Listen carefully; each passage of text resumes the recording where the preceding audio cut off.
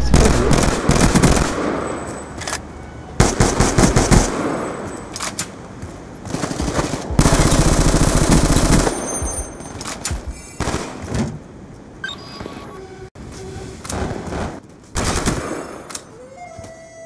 Porra, não dá pra jogar travando.